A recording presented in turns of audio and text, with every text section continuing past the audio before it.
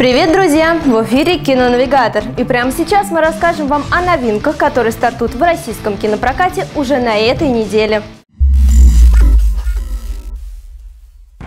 В детстве, когда мы были совсем маленькими, после прочитанных книг или увиденных мультфильмов, мы играли в рыцарей, пиратов, мушкетеров или супергероев.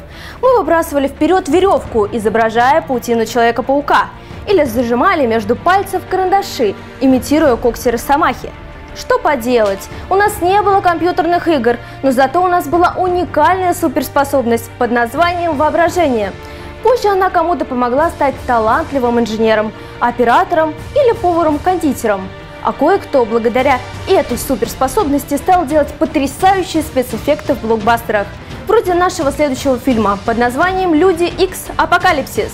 В мире, где мутанты и люди борются за свое место под солнцем, людям X предстоит столкнуться со своим самым опасным противником – древним мутантом Апокалипсисом, существом, схватка с которым может стать последней не только для мутантов, но и в принципе для всего человечества. В поисках способа победы над неуязвимым и бессмертным монстром людям X предстоит узнать больше о происхождении своего вида. Но апокалипсис неимоверно силен, и вероятность победы очень мала, ведь он фанатично убежден, что только сильнейшие имеют право на выживание. Вы больше не ученики. Мы заберем у них все. Вы люди Икс.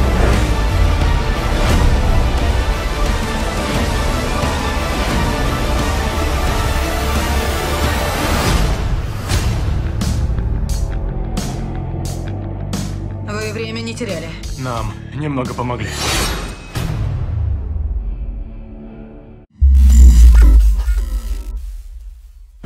Что такое комиксы? По сути, это те же самые сказки. И по мотивам одного из произведений Шарля Перо недавно также сняли фильм. Правда, вместо волшебной истории с феями, вертином и прекрасным принцем на белом коне получился какой-то мистический триллер – по сюжету картины Томас Гайзер наследует родовое поместье, принадлежащее его семье многие поколения. Но он и не подозревает, что вместе с домом унаследовал и древнее проклятие. Томас вынужден примерить на себя роль хранителя, того, кто не допустит, чтобы силы зла высвободились из поместья. Разгадать тайну дома ему помогут местный риэлтор и священник, а также разбудить прекрасную Брайер Роуз, запертую в ужасном месте, которое Томас видел в своих снах. Должен быть способ разрушить проклятие. Это что, кровь? Похоже, да. Если мы отыщем спящую красавицу и разбудим ее, мы снимем проклятие.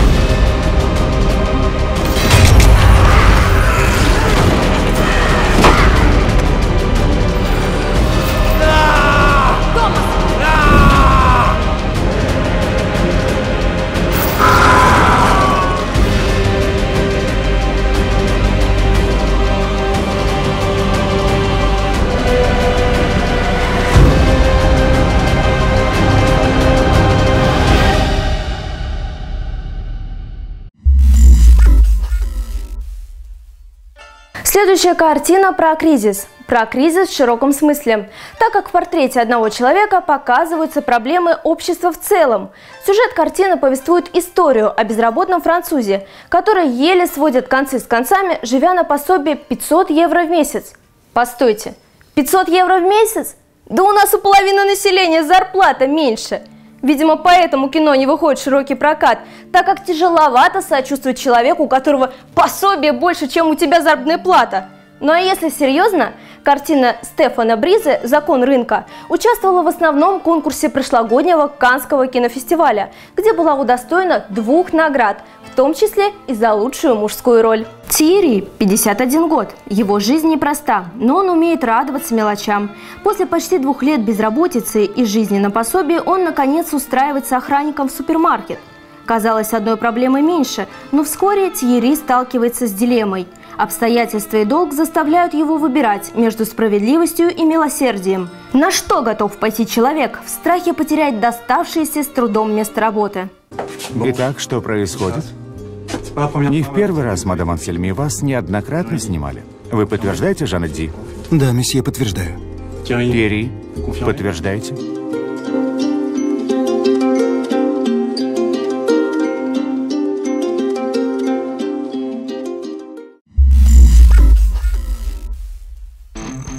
Ну что ж, друзья, это был кинонавигатор, и мы вам рассказывали о новинках, которые стартуют в российском кинопрокате уже на этой неделе.